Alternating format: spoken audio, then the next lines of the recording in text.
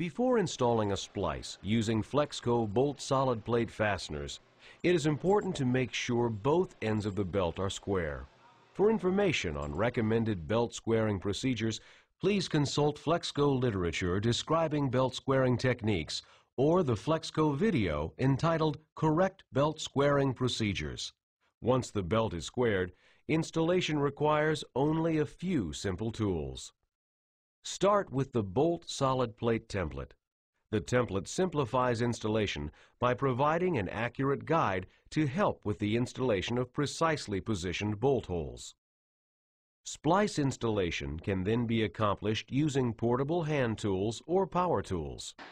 Hand tools required include a hammer, a hole punch, a wrench, a carpenter's brace, a bolt horn used to coax the top plate over the installed bolts, flex lock tape, and bolt breakers. Half-inch power impact tools are recommended, however, since they can reduce installation time by as much as 50%.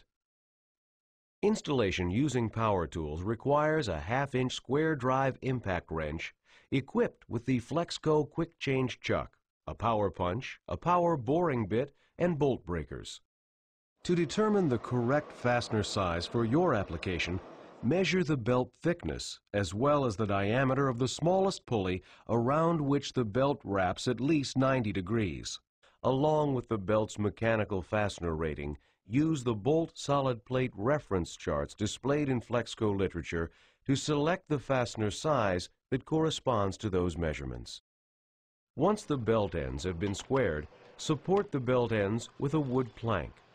Position the Flexco template between the belt ends and draw both belt ends together until they are tight against the lugs of the template. Nail the template into position at several locations across the width of the belt to make sure the template stays in place.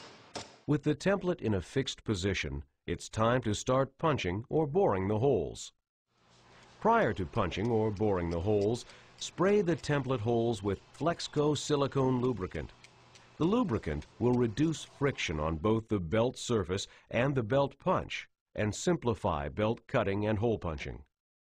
Punch or bore the holes using the template as your guide.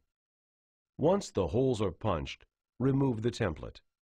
You are now ready to begin installing the fastener assembly.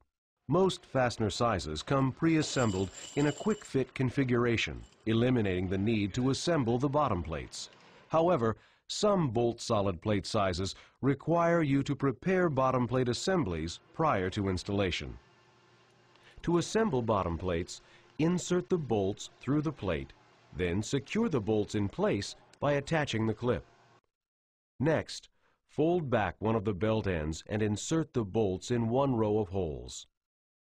Using the teeth of the installation template, align the other row of bolts, place the other belt end over the exposed bolts, and press the belt into place. Now remove the template and begin placing the top plates over the top of the exposed bolts.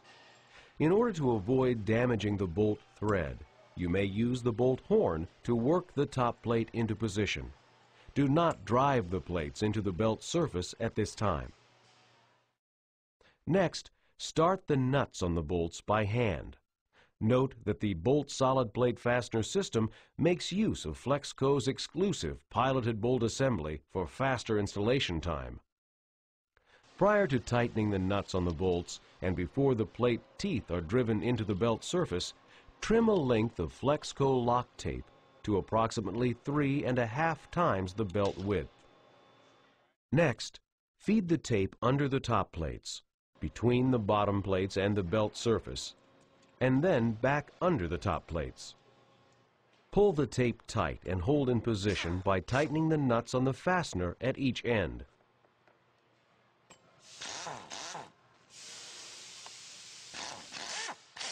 Then tighten all other plates, starting at the outside edge and working toward the center.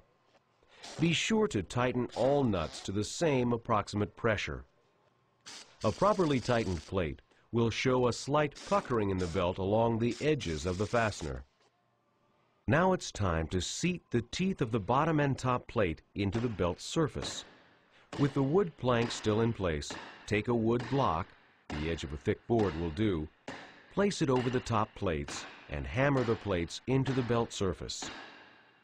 Once the fastener teeth are embedded in the belt, retighten the nuts. At this point, you may remove the wooden plank underneath the installed splice. Finally, break off the excess of the bolt ends using two bolt breakers. Peen or grind down the bolt ends to a smooth finish, and the job is complete.